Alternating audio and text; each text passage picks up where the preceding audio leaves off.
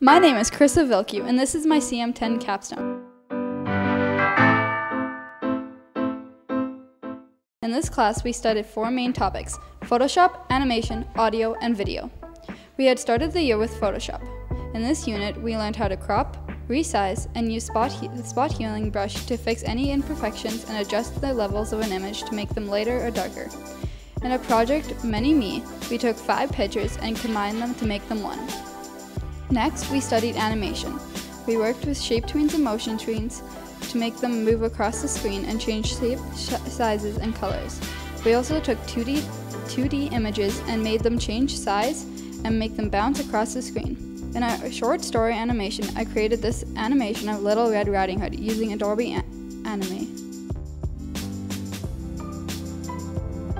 The wolf ran as fast as he could, taking the shortest path, and the little girl took a roundabout way. Entertaining ourselves by gathering nuts, running after butterflies, and gathering bouquets of little flowers. Next, we did audio. We used the program Audacity to record our voice and make them into, into our previous lab. We also took our shape and motion tweens and put music and sound effects into them.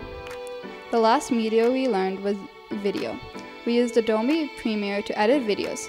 We were able to work in partners, so me and my partner made a green screen project where we took the background and make, make us look like giants.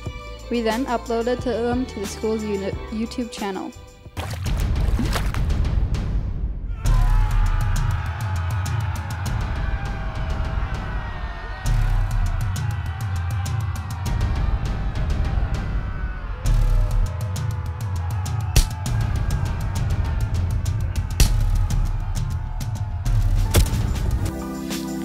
Hand in the projects, we hand them into the file on the computer with the correct file name and files. The pros to this is that you can easily check over your work and easily see if you have all the correct files to hand in. However, if you're not careful, you could be missing files resulting in your project not working.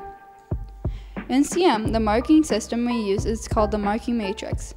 You print out sheets of paper that you have filled out with the skills you have learned and the objective of this lab. Mr. Lundrum reads over your paper and views your work and goes through it with you.